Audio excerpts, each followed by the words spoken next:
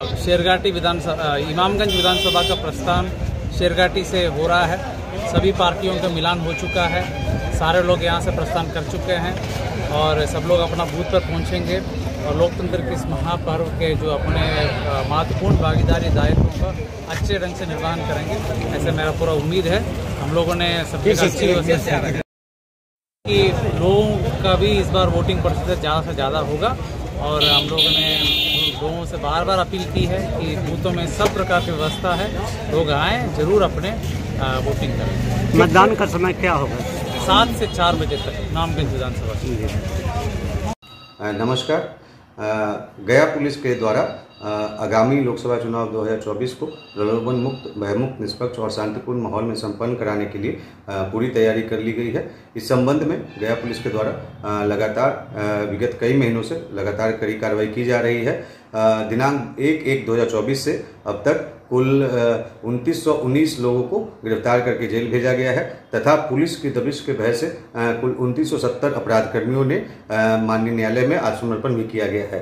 इसके अलावा हम लोगों ने वारंट के निष्पादन के लिए भी विशेष अभियान चलाया था जिसमें कुल मिलाकर के करीब अड़तीस सौ जो वारंट है उसका निष्पादन किया गया है और सात सौ छप्पन जो लोग हैं उस वारंट में गिरफ्तारी की गई है।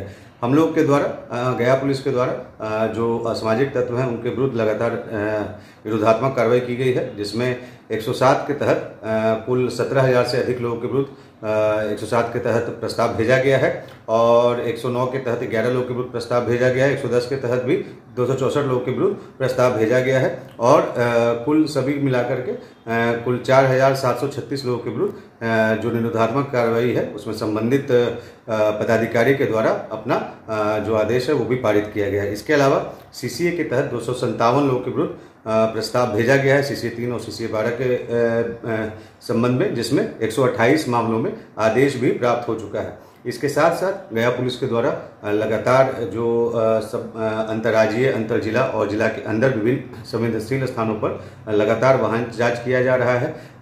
सभी कुल 30 पूरे ज़िले में 30 एसएसटी की टीम और 30 एफएसटी की टीम कार्य कर रही है और विशेष तौर पे जो हमारा अंतर्राज्यीय जो बॉर्डर है, उस पर निगरानी रखी जा रही है। 24 घंटे निगरानी रखी जा रही है। गया गया पुलिस के द्वारा सभी जो बूथ है उसको चिन्हित किया गया है और उसको वर्गीकरण करते हुए जो प्रभावी तौर पे वहाँ पर पुलिस पदाधिकारी और बल और साथ में केंद्रीय बलों की भी प्रतिनियुक्ति की गई है। गया पुलिस के द्वारा चुनाव को शांतिपूर्ण संपन्न कराने के लिए निष्पक्ष रूप से संपन्न कराने के लिए पूरी तैयारी कर ली गई है। आप सभी से भी आ, मेरी विनती है अपील है कि आप सभी आ, भी अपने मताधिकार का अधिक से अधिक प्रयोग करें। धन्यवाद।